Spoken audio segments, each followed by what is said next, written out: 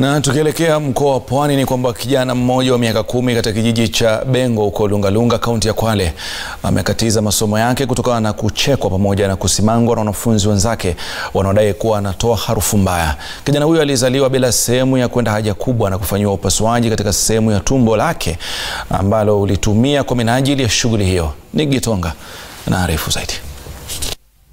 Nyumbani kwao Moses Mwatela katika kitongoji cha Bengo hapa Lungalunga, malaika huyo anadurusu madaftari yake akijikumbusha aliokuwa akisoma awali, lakini Moses anahuzuni tele.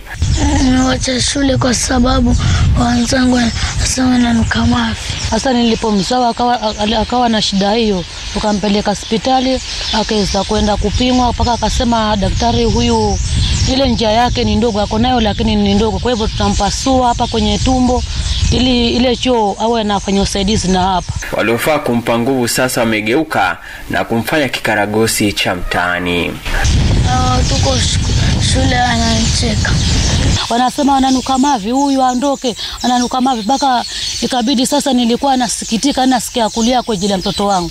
Wenzake wanamcheka wanasema sasa, mtu mkubwa namna hii anakunya kwa suruali kwa sababu gani? Hali ambayo imemtia majonzi mama mzazi. Kulingana na mamake, kutozaliwa na sehemu ya kwenda haja kubwa kumemponza pakubwa Moses. Sasa nikasema hata afadhali arudi nyumbani, kwa maana sasa ni huzuni tu, akija analia kutoka shule. Safari ya Moses kupata matibabu hakiki haijakuwa rahisi kwa karibia miaka kumi sasa. Kama ni asubuhi anasema sasa, mimi mama, nitapona ni lini mimi kama niende shule kama wenzangu wenzangu, mimi nasikia kuteseka mama. Ufukara ukizima matumaini ya Moses kupata afua. Nimepata shida naye huyu mtoto, hata sijui niseme nini.